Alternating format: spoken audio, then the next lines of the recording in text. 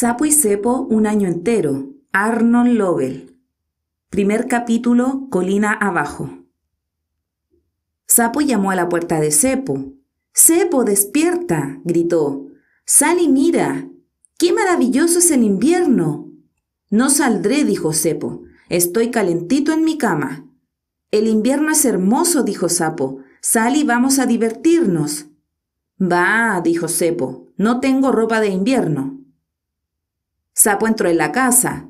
Te he traído algunas cosas para que te las pongas, dijo. Sapo le puso a Cepo un abrigo y se lo abrochó. Sapo le puso a Cepo unos pantalones y se los abrochó. Le puso un gorro en la cabeza y una bufanda en el cuello.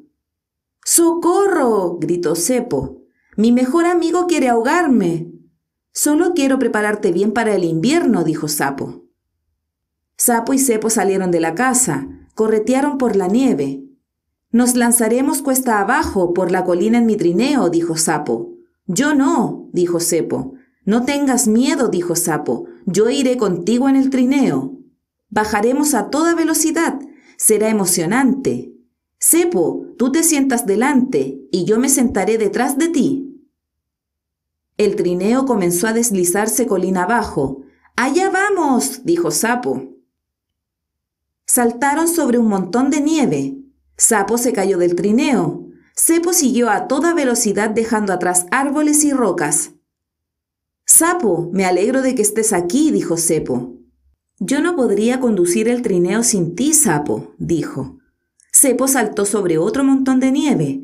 Tienes razón, el invierno es divertido. Un cuervo revoloteó cerca de él. Hola, cuervo, gritó Cepo. Míranos a Sapo y a mí. Montamos en trineo mejor que nadie en el mundo. Pero Cepo, dijo el cuervo, estás tú solo en el trineo. Cepo miró atrás, vio que Sapo no estaba allí. Estoy completamente solo, gritó asustado Cepo. Bang, el trineo chocó contra un árbol. Crack, el trineo chocó contra una roca. Plop, el trineo se incrustó en la nieve. Sapo llegó corriendo colina abajo. Sacó a Cepo de la nieve. Lo he visto todo, dijo Sapo. Lo hiciste muy bien tú solo. No es verdad, dijo Cepo. Pero hay una cosa que puedo hacer yo solo. ¿Cuál? preguntó Sapo. Puedo irme a casa, dijo Cepo. Quizá el invierno sea hermoso, pero la cama es mucho mejor. Segundo capítulo. La esquina. A Sapo y Cepo les pilló la lluvia. Se fueron corriendo a casa de Sapo. Estoy completamente empapado, dijo Cepo. Se ha estropeado el día. Vamos a tomar té y pasteles, dijo Sapo. Ya dejará de llover. Si te pones cerca de la estufa, tu ropa se secará enseguida. Mientras esperamos a que pare la lluvia, te voy a contar una historia. Oh, qué bien, dijo Cepo. Cuando yo era pequeño, no mucho mayor que un renacuajo, dijo Sapo, mi padre me dijo, Hijo, hoy es un día frío y gris, pero la primavera está a la vuelta de la esquina. Yo quería que llegara la primavera. Salí afuera para encontrar esa esquina. Caminé por un sendero del bosque hasta que llegué a una esquina. Di la vuelta a la esquina para ver si la primavera estaba del otro lado.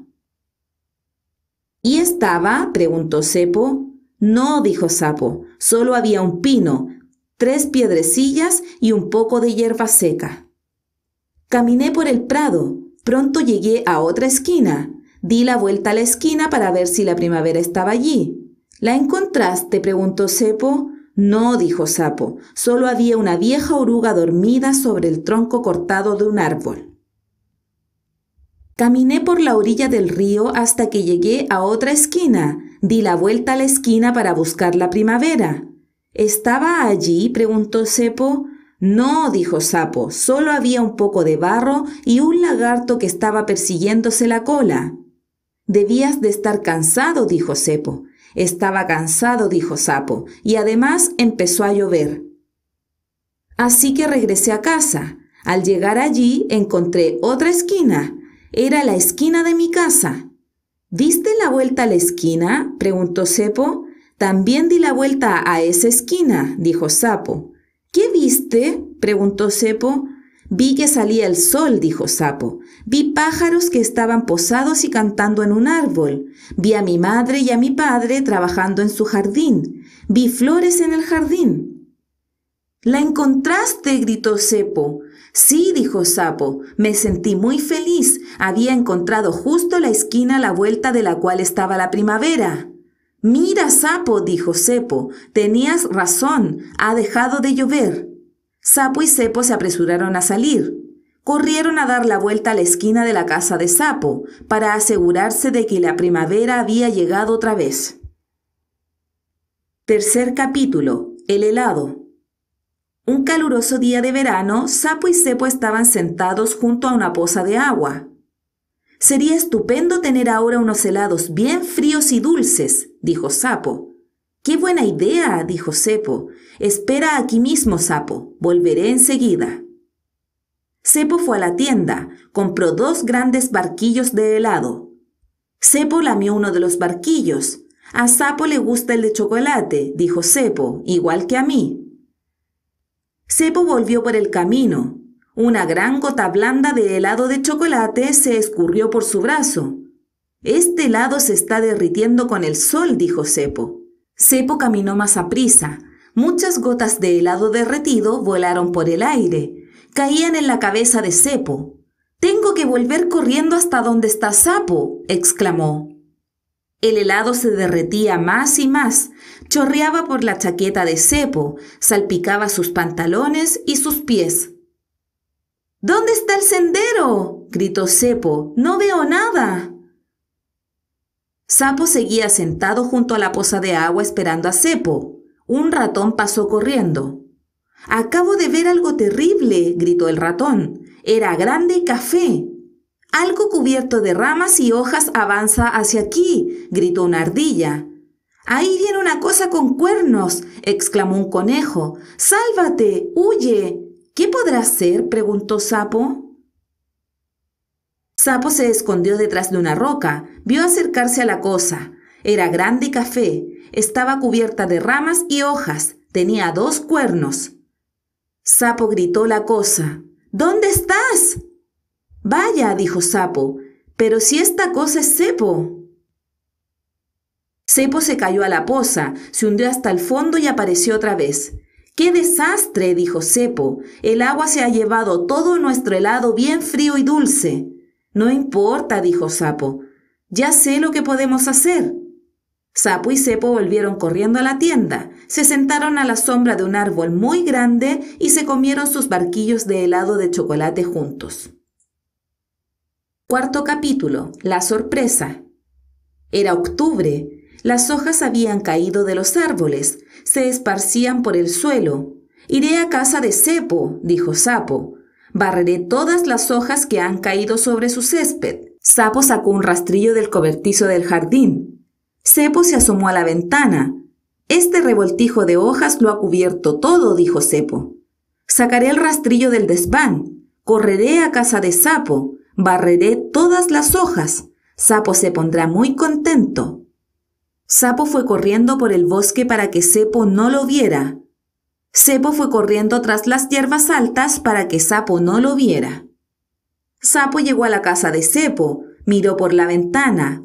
Bien, dijo Sapo. Cepo está fuera, nunca sabrá quién barró sus hojas. Cepo llegó a la casa de Sapo, miró por la ventana.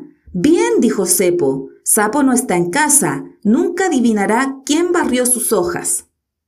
Sapo trabajó muchísimo, barrió las hojas haciendo un montón. En poco tiempo el césped de Cepo quedó limpio. Sapo recogió su rastrillo y se fue a casa. Cepo le dio al rastrillo de acá para allá.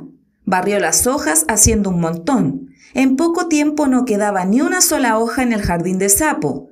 Cepo recogió su rastrillo y se fue a casa.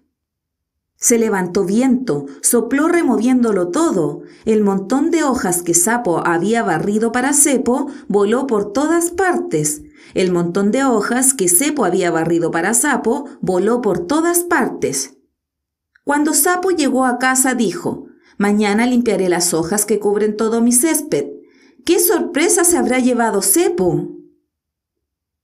Cuando Cepo llegó a casa dijo, Mañana me pondré a trabajar y barreré todas mis hojas. ¿Qué sorpresa se habrá llevado Sapo? Esa noche, a la hora de apagar la luz para dormirse, Sapo y Cepo los dos se sentían tan felices. Quinto capítulo. Nochebuena. En Nochebuena, Cepo cocinó una cena estupenda, decoró el árbol. Sapo se retrasa, dijo Cepo. Cepo miró su reloj. Recordó que estaba estropeado. Las manecillas del reloj no se movían. Cepo abrió la puerta de su casa, escudriñó la noche. Sapo no estaba allí. Estoy preocupado, dijo Cepo. ¿Y si ha sucedido algo terrible? ¿Y si Sapo ha caído en un pozo profundo y no puede salir? Nunca lo volveré a ver. Cepo abrió la puerta una vez más. Sapo no estaba en el sendero. ¿Y si Sapo se ha perdido en el bosque? dijo Cepo. ¿Y si está helado de frío y mojado y hambriento? ¿Y si un animal enorme con muchos dientes afilados está persiguiendo a Sapo? ¿Y si le está devorando? gimió Cepo. Mi amigo y yo nunca pasaremos otras navidades juntos. Cepo encontró una cuerda en el sótano. Con esto sacaré a Sapo del hoyo, dijo Cepo. Cepo encontró un farol en el desván. Sapo verá esta luz, le mostraré el camino para salir del bosque, dijo Cepo. Cepo encontró un sartén en la cocina. Con esto golpearé a ese enorme animal, dijo Cepo. Le saltarán todos los dientes. Sapo, no te preocupes, gimió Cepo. Voy a ayudarte. Cepo salió corriendo de su casa. Allí estaba Sapo. Hola, Cepo, dijo. Siento mucho llegar tarde. Estuve empaquetando tu regalo. ¿No estás en el fondo de un pozo? preguntó Cepo. No, dijo Sapo. ¿No estás perdido en el bosque? preguntó Cepo. No, dijo Sapo. ¿No te está devorando un enorme animal? preguntó Cepo. No, dijo Sapo. Desde luego que no. Oh, Sapo, dijo Cepo, estoy tan contento de pasar las navidades contigo.